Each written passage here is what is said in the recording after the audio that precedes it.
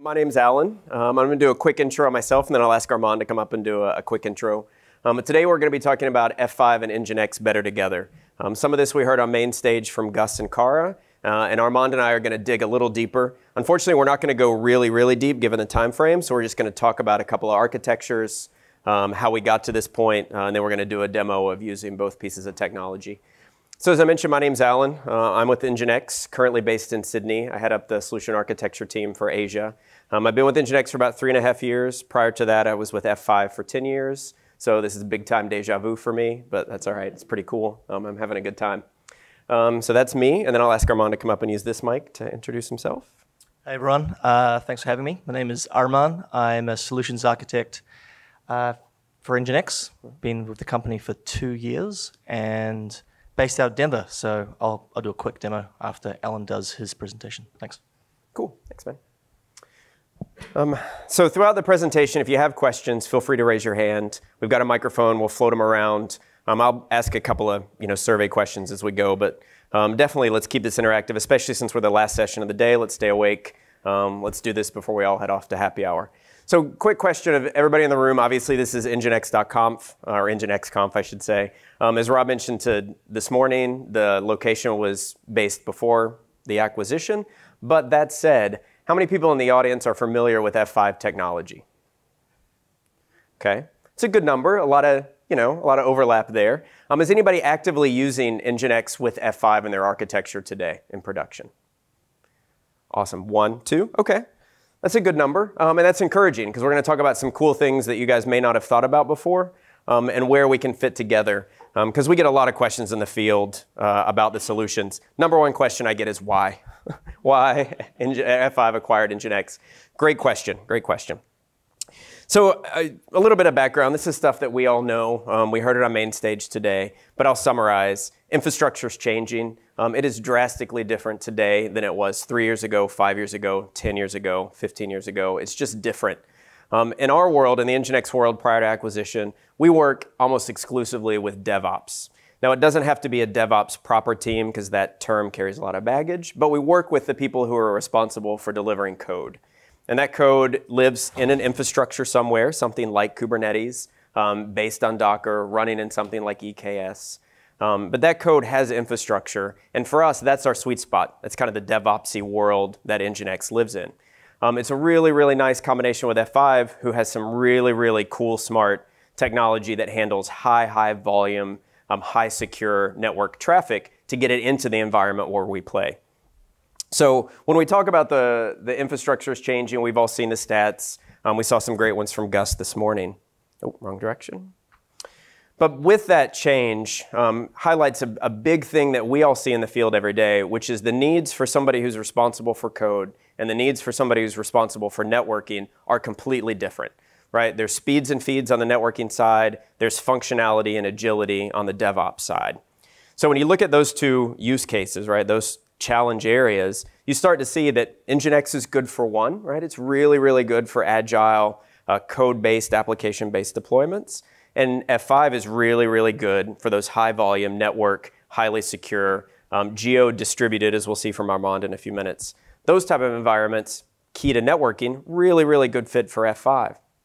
So when you start to look at them together, it's like, okay, DevOps needs one thing, NetOps needs something else. Is there a way to, to bridge that gap so that the DevOps team isn't trying to solve networking problems and the NetOps team isn't trying to, to solve the app stack problems?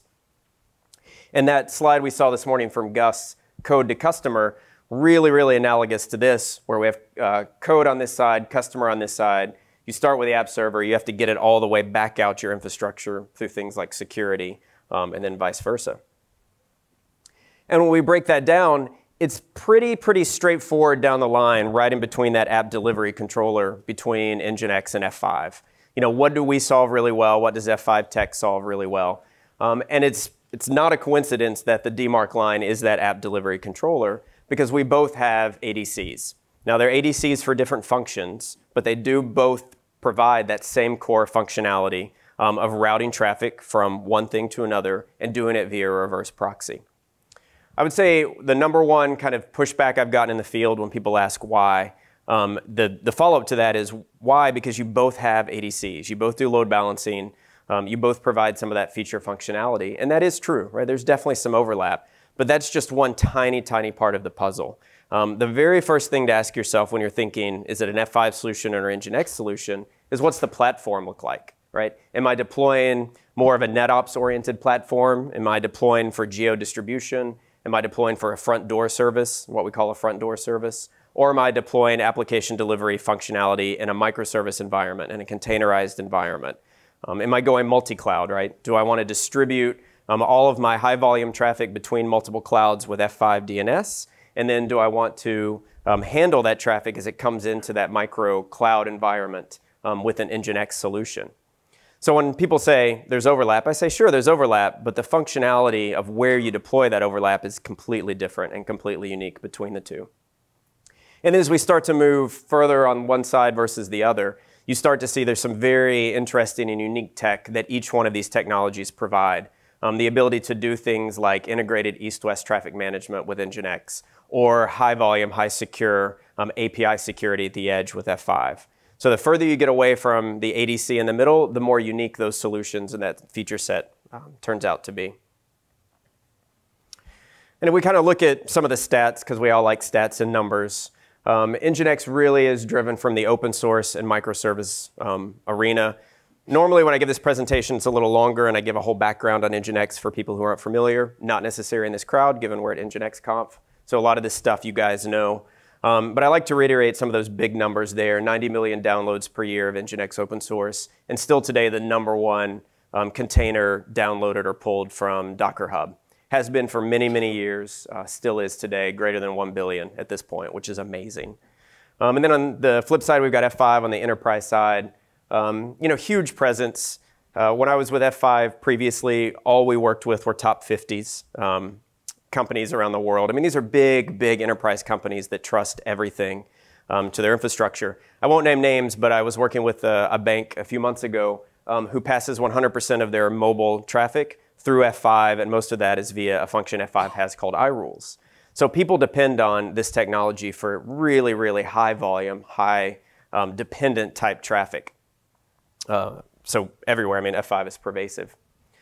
And then kind of um, I want to say culturally, or when we look at the actual application, um, you start to see things like Nginx very, very agile. Um, you love the stat, or we love the stat, I should say, that it can fit on a floppy. It's tiny. You can put it anywhere. You can deploy it in a container. Um, it can do all the same functionality in a, a, tiny, tiny 7 meg container that it can do on an 88 core Dell piece of hardware.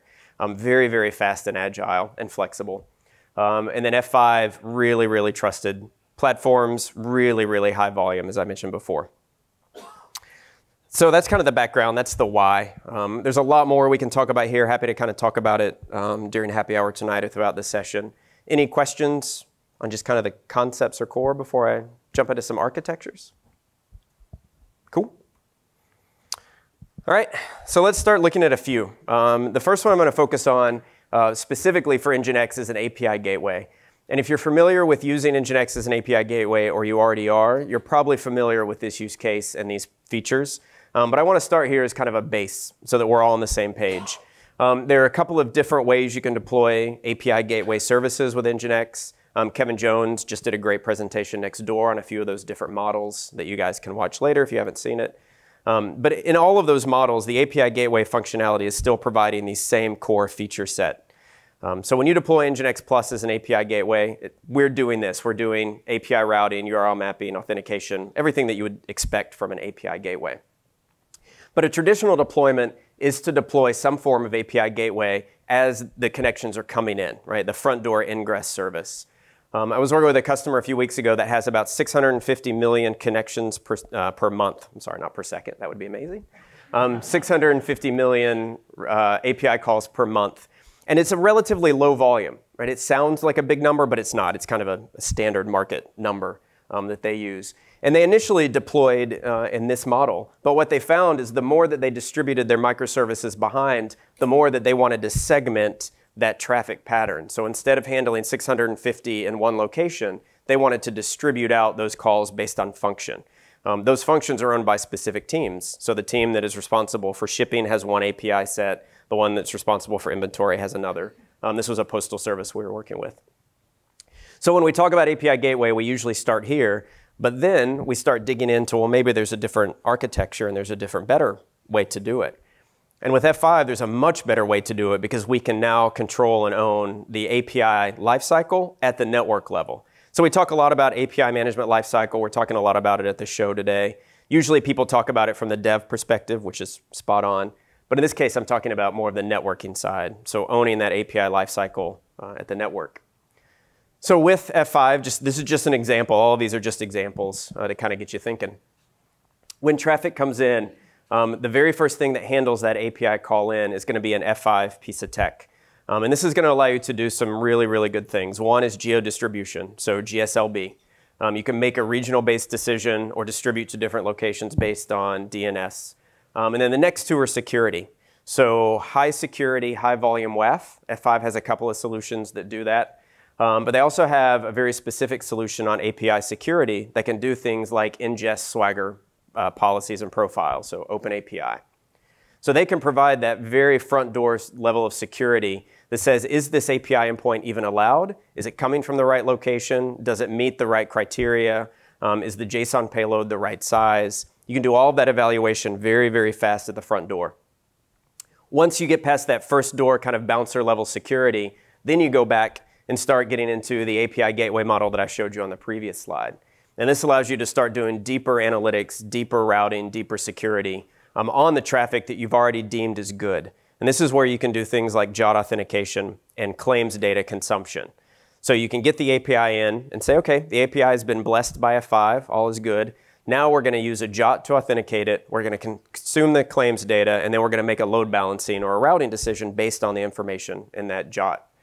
Um, you can start doing that and distribute it into your traffic environment. And then for Nginx, that traffic environment can be anywhere. It can be a microservice. Um, it can be a heavily divested microservice like a Kubernetes environment or EKS.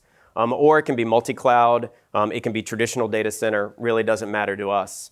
Um, but the important part is that we're doing that second level API management that you need once things come in. And then the theme this week is controller. So all those instances can be managed by controller, which does configuration management for APIM, as well as deep, deep analytics, um, and allows you to scale those instances wherever you'd, you'd like to go. And then down here, as we've talked about this week, um, we're opening up some new APIs to controller um, to give you visibility um, into that environment. F5 also has some APIs um, that you can use to consume metrics-based data um, as well and integrate that at the same time um, using one of these tools such as AppDynamics, uh, Grafana with Prometheus, New Relic, ServiceNow, etc.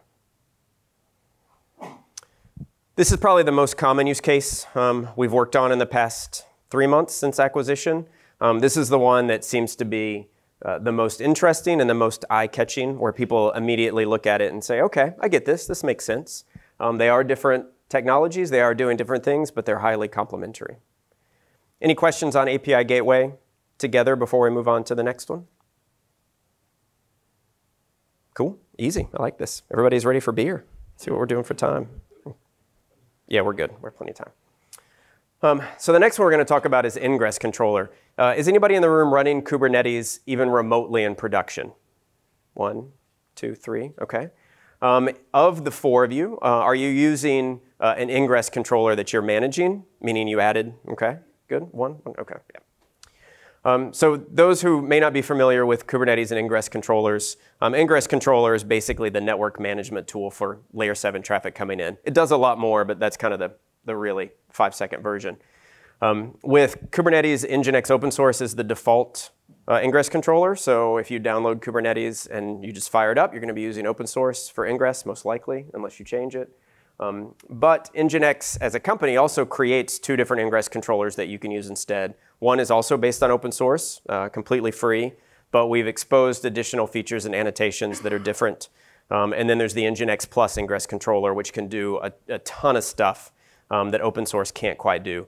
There are sessions here about ingress controller. Unfortunately, I think we're overlapping with uh, one of them about the next gen ingress controller, but please uh, watch it online. Ingress controller, using Nginx Plus for an ingress controller, very, very common use case for any of our customers who are using Kubernetes. Um, we talk about it all the time. Um, now that we talk about kind of the integration with F5, then even though it looks like I just threw an F5 ball on top of that line, I promise it's really doing something. It's not just there for looks. Um, but a microservice environment still needs to get traffic somehow. Um, and with F5, or I'm sorry, with Nginx, we always get asked the question, well, how do I get traffic into it, especially if I want to build my system on-prem and then move it to something like ECS, where I'm still managing my own cluster, I'm still managing my own containers, I'm just doing it somewhere else. How do I direct traffic? How do I route traffic? How do I get traffic into that? And historically, the answer from Nginx is, well, we're a load balancer, so you can point any DNS endpoint to us you want. You just have to do it somewhere else. And then we'll take it from there, and then we'll deliver it to your ingress controller. And with F5, we just have a little better um, alignment to do that with those F5 technologies I talked about in the API gateway. Um, a lot of our customers, especially in the Asia region, region um, and ANZ in, particu in particular, are already using F5 as front door load balancers. They're already using them for L4 and L7 to get traffic in. So it's a perfect opportunity to start talking about using Nginx Plus as ingress once the traffic comes in. So pretty, pretty straightforward. Um, it's nothing crazy. It's just talking about how do you manage your layer 4 to layer 7 traffic before ingress, um, which is a thing. This is also a really, really good opportunity um, when we go in and talk to people to talk about the difference between NetOps and DevOps, because this is usually the DevOps team, and that's usually the NetOps team. Um, so even though they're separate silos, they're separate buckets, uh, we can talk about how we can work together and get traffic between the two. Um, any questions on ingress controller? Cool. All right. You guys are too easy. And then this one is my favorite slide. Um, so this, I kind of just want to sit for 30 seconds and let you digest it. You know, just soak it in, soak it in. So I'll, I'll give you the backstory in this. Um, this is a real customer's architecture. this is not made up. This is 100% real. Um, it's a very, very large enterprise customer, not based in the US. Um, very, very big environment. Um, but they also, not only do they have their own internal infrastructure, but they have a separate branch of their company that functions as an MSP, basically. Um, they do a lot more than that, but that's, that's kind of the high level. So they create um, these environments that they then resell to other customers to consume extra resources in their own environment. Um, so we sat down with an F5 SE, um, really, really smart guy, uh, and created this kind of dream architecture using what they already have today. So the customer already has these buckets allocated. They're already using F5 for front door services. They're already using Nginx for every possible feature that we could ever want them to. Um, Nginx is everywhere in this environment. So we sat down and said, well, let's draw this together. Let's see what this would look like if we built one environment. Um, and then let's go talk to the team who owns this. Now, in this particular company, a different team owns each bucket, so we've only talked to two of them so far. It's going to be a long process, um, but we're getting there. And you can kind of see in every different function, you first start with that platform conversation. So what's the platform, right? We're not just talking about layer 4 and layer 7 traffic at the front door, and we're not just talking about microservice. We're talking about a running environment for a function. So in this case, we have a microservice PaaS um, that they're running in AWS. It has its own VPC but they have um, very sophisticated and important services that run in that environment. So they want to add things like security, specifically rate limiting um, and DDoS protection. That's the big one for that particular environment. But Nginx Plus is running as an ingress controller there. So let's talk about what that looks like and what each function's doing. So we went through and we said, in this one environment, these are the three things Nginx Plus is doing. These are the three things F5 is doing. Over here, we did the same thing. Excuse me. In their managed tenant VPC, they're using managed F5 virtual instances, which is a virtual version of the F5 Big IP hardware, plus Nginx Plus instances for API Gateway. All of the Nginx Plus instances are currently manageable by controller. They're not yet, um, but they are manageable by controller, which gives them full visibility and insight into all those environments. But it also gives them the ability to quickly spin up and manage instances anywhere in that environment. And using all kinds of different things in controller that we've seen today and that we'll see tomorrow, they can do things like tag the internet VPC instances via controller as front facing, so those can never have certain services exposed. They can only have port 80, for example. Um, but back here, for ingress, you have a completely different environment that depends on different ports, and those can be exposed differently. Um, now, controller can't manage all of these today. For example, it doesn't manage ingress controller yet, but all of that stuff is, is right around the corner and coming pretty quickly. Um, and then uh, the last thing I'll mention up here just briefly is that F5 has a, a service mesh technology called Aspen Mesh, which is running um, in a very specific version of this client's environment. Cool. All right, well, before I turn it over to uh, Armand to talk about a real world use case, any other questions or any questions about this architecture in general? Yes. The microphone? Yeah. It does seem like uh, you are using F5 as a network load balancer uh, with uh, some security cap security capabilities and Yes. also WAF. I mean, uh, and Engine Nginx uh, as a you know API gateway or ingress controller uh, or you know fr- front end for a microservice based applications, right? So you you also mentioned that uh, F5 anything related to F5 is uh, NetOps, anything related to Nginx is DevOps, right? So is there any way that as an F5 admin or as an Nginx admin we can collaboratively combine both of them together, manage as a single team? You know, most likely, you know, Yes. there were there, there are a lot of admins here, so we really want to catch up on Nginx uh, and vice versa, right? Yeah. So, Yeah. uh, what are the opportunities there uh, uh, in terms of you know collaborating both the technologies together Yep. and manage them? Uh, Absolutely. Yeah. It's a good question, and I'll be really quick so I can give kind of some time to Armand. Um, so the short answer is yes, there are technologies that we're working on that give that visibility and that manageability together. Um, but the, the important part is that while Nginx is typically DevOps and F5 is typically NetOps, they're not isolated to those environments. Um, because of some of that feature overlap, especially in the ADC, there can be opportunities or places where Nginx is being managed by a, a NetOps team, and we do it all the time. We've done it for years. And likewise, F5 is embedded with DevOps teams for things like service mesh. Um, they have an ingress controller that functions a little differently called CIS. Um, so there is some overlap there, but yes, you're you're spot on. That's exactly what we're kind of thinking is how to integrate those on the management plane, control plane. Yeah. Cool. All right. Well, I'm going to remove my laptop here and give it to Armand. Cool. So with the time left, I'd like to give a real world example of how Nginx and F5 are uh, better together. So first of all, set the scene. You guys have two seconds.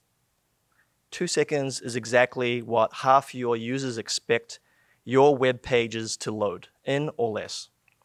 If your web pages load in, you know, over four seconds, very likely you're going to have a big drop off in users visiting your website. And when it comes to mobile experience, we expect about the same experience uh, to, to that of a, a desktop browser experience. Um, only one second more uh, at five seconds, users accessing your web applications through a mobile web browser will start banning, abandoning your website. So web performance is, is very performant, uh, important, right? And it's 2019, and humans apparently have less of attention span than goldfish. So they say, right? So the biggest contributing factor to web performance is actually latency. So no matter how optimized your website is, how small it is, um, you know, where you structure the HTML with the CSS at top and the JavaScript in bottom, etc., latency still is going to play the biggest part to your to your load times. And that's because you can't really change physics, right? So, you know, uh, I researched and found out that 20 milliseconds of round trip time is roughly the same as light traveling 3,000 kilometers in a vacuum. Uh, some other examples is, you know, Boston to San Francisco is about 80 milliseconds. Beijing to Chicago is 200 milliseconds. And Cape Town to Singapore is around about 500 milliseconds of uh, round trip time. So web applications today, web pages are very media rich, feature rich, right? Uh, you know, I, I looked at the inspect button on Chrome on CNN.com, and there were roughly 700 pieces of content. So if you take a look at the incident on the left there, that's basically 500 to 700 round trips from my browser all the way to wherever that content is stored, back and forth, back and forth, and back and forth. So it's a big problem. Um, if you think about traditional F5 and Nginx solutions, they belong at the data center. So F5 and Nginx are your, your load balancer. Uh, they provide load balancing, web application firewall security, do some proxy caching there, some caching. Um, and at the back end, where your web servers live, Nginx can be a web server or an application server with Nginx unit. Now, what I'm would like to share with you uh, with my short presentation here is that we could use Nginx and F5 to be your CDN. So if you're not familiar with what a CDN is, a CDN is a content delivery network. Uh, if you, you know, very likely everyone in this room, um, you know, your business, your organization is using a CDN of some sort. Um, Akamai, Limelight, MaxCDN, Fastly, Instart Logic, these are just some names in the CDN space. Um, and most of them, if not all, are using Nginx under the hood. So as we saw in the previous uh, presentation with Bruno up here, he demonstrated the power of Nginx as a, a caching proxy. The, the different direct, directives and the granular, uh, I guess, configuration that you can do with Nginx as a, as a caching proxy brings much power. And so the DIY or do-it-yourself CDN solution is simply Nginx as a cache proxy deployed up in the cloud, and F5's DNS so GSLB, GTM, uh, whether that's on the big IP or the you know, F5's cloud services, is providing the GSLB capability. And so the better together solution looks something like this. So how it works is that you can deploy Nginx essentially anywhere where Linux can be installed. So that could be on any private infrastructure. It can be on any public uh, cloud service. So it could, you know, you could deploy Nginx on Azure, DigitalOcean, AWS, GCP.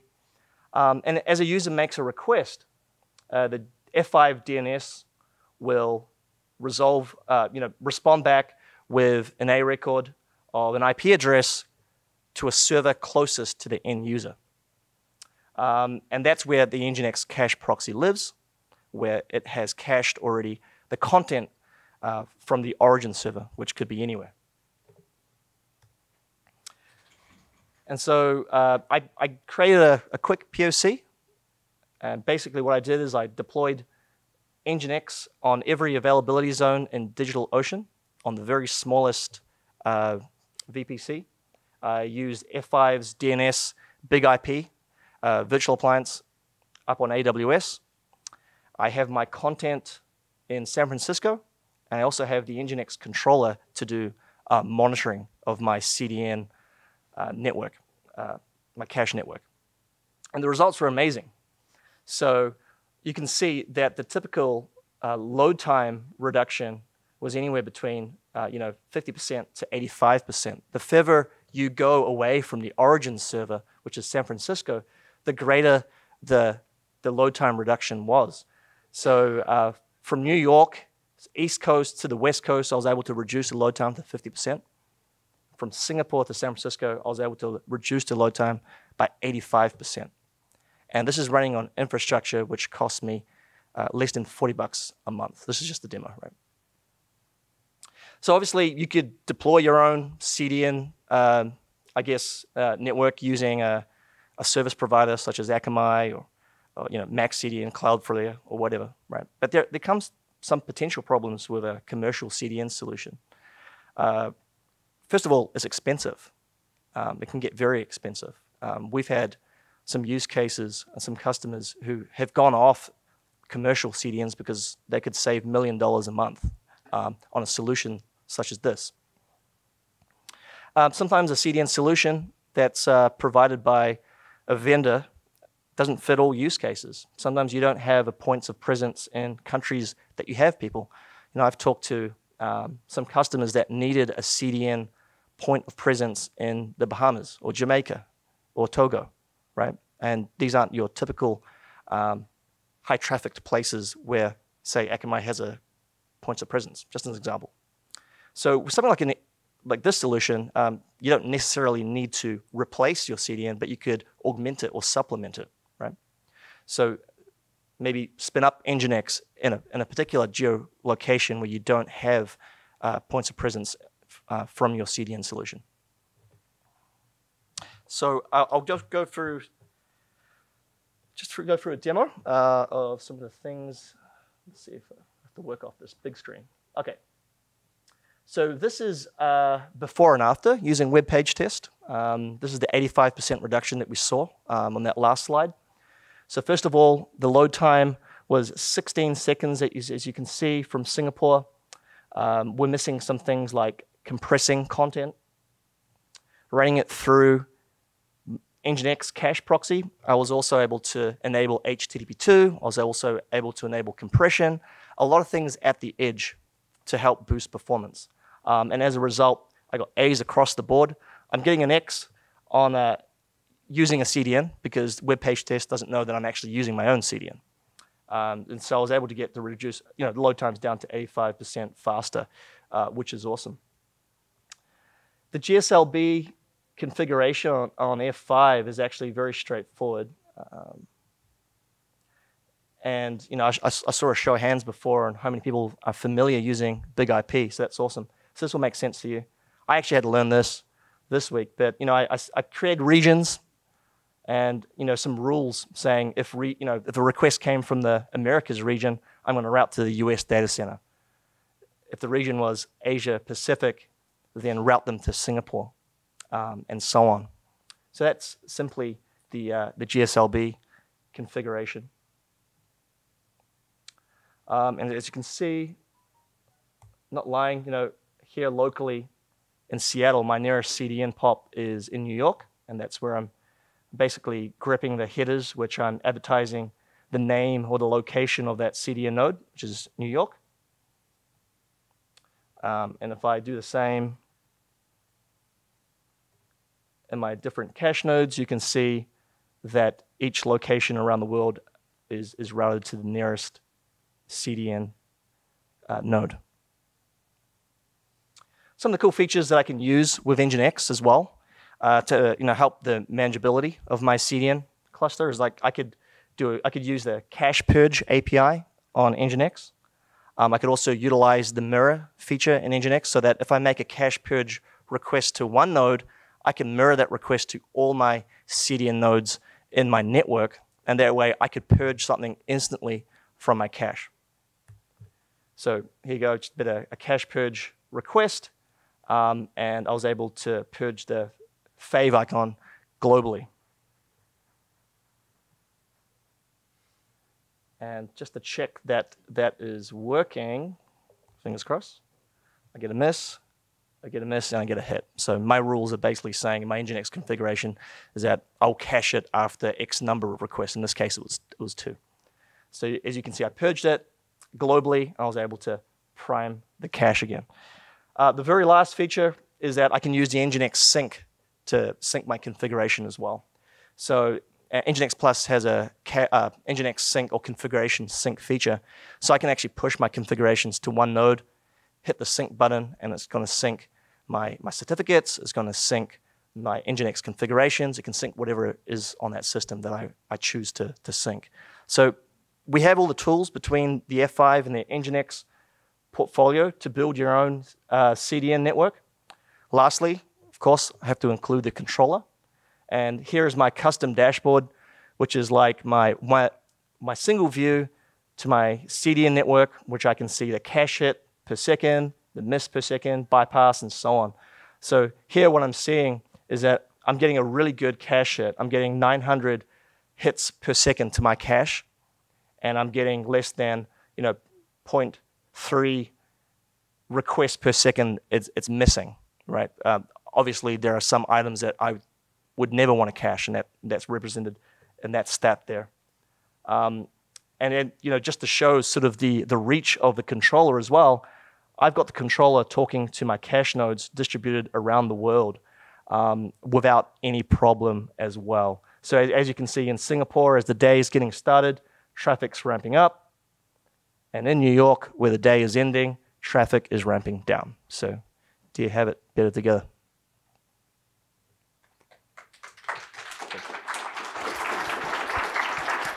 That was awesome. Thanks. Cool. Well, thanks, Armand. That was seriously cool. Um, yeah, well, that's about it. Um, any questions? Anything we want to talk about? CDN that Armand built or just general tech?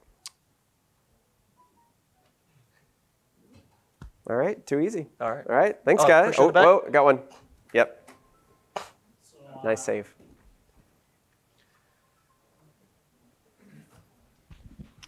Any kind of restriction on the file ta- type for cache? The file type? Yeah. Any? Just wonder if there is any restriction which files the, the cache can hold.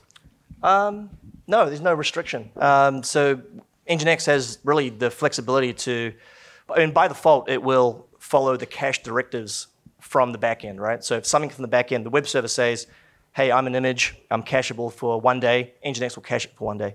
But you also have the, the flexibility to override that as well. So to your question, there is no restriction on what is cacheable. If it is cacheable, Nginx will cache it.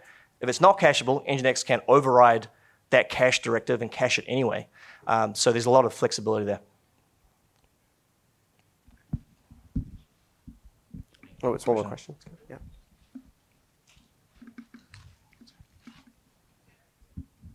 I'm uh, new to Nginx, but uh, so sorry if this is obvious. But is there any reason why you chose config sync between the the plus devices as opposed to the configuration option in the controller? Okay, so the controller, we have a couple of modules there. One is load balancing, and the other one is API management. Uh, what we don't have there is some sort of caching module. So we can't actually do, we can't actually, I guess, tap into the full capabilities of Nginx's caching capability through the controller. So I'm just using controller for monitoring only.